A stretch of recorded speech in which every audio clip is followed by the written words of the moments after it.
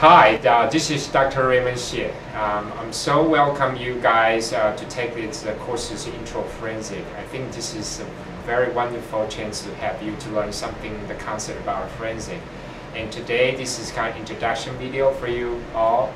Um, um, before we process and have you guys read all the course material, I would like to introduce my very, very nice student assistant, which is uh, Brittny and also Danielle.